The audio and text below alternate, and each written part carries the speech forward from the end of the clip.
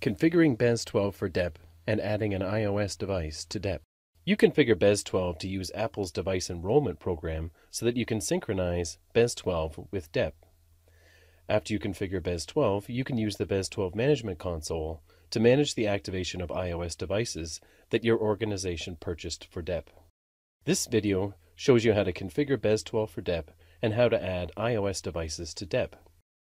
The steps to configure BES 12 are create a DEP account, download a public key, generate a server token, register the server token with BES 12, add an enrollment configuration.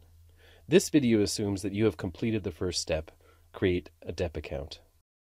The first step is to download a public key that is used to generate the DEP server token. In the BES 12 Management Console, click Settings. Click External Integration. Click Apple Device Enrollment Program. Click Download Public Key and save the file when you are prompted. The next step is to log into your DEP account and upload the public key that you downloaded from BES 12 to get your server token. Click Open the Apple DEP portal. Type your password. Click Sign In. Click Continue. Type your verification code. Click Continue. Click Device Enrollment Program. Click Add MDM Server. Type an MDM server name. Click Automatically Assign New Devices. Click Next. Click Choose File. Click the public key file name. Click Open. Click Next. Click Your Server Token. Click Done. Click the drop-down list. Click Sign Out. The next step is to register the server token with BES 12. In the BES 12 Management Console, click Settings. Click External Integration. Click Apple Device Enrollment Program. Click Browse. Click the file name with the extension .p7m.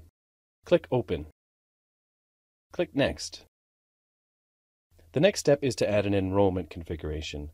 BES 12 automatically displays a blank enrollment configuration after you configure BES 12. The fields and settings used in this video are an example. In the name field, type a name for the enrollment configuration. In the department field, type a department name. Select the settings for the enrollment configuration.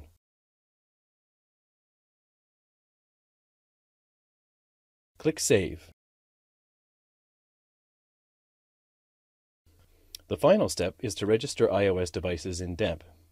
You can add iOS devices to DEP after you configure BES 12 and assign the devices to an MDM server. BES 12 adds the registered devices to the BES 12 Management Console. You can type serial numbers or select an order number. In this example, a serial number is added. In a browser, go to deploy.apple.com. Type your password for the device enrollment program. Click Sign In. Click Continue. Type your verification code. Click Continue. Click Device Enrollment Program. Click Manage Devices.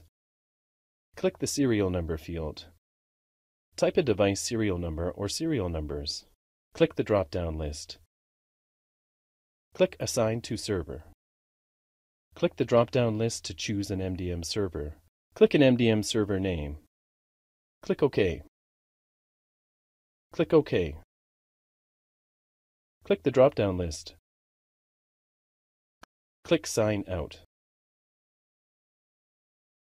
To verify that registration has occurred, in the BES 12 Management Console, click Apple DEP Devices. This completes the task of configuring BES 12 for DEP and registering iOS devices in DEP.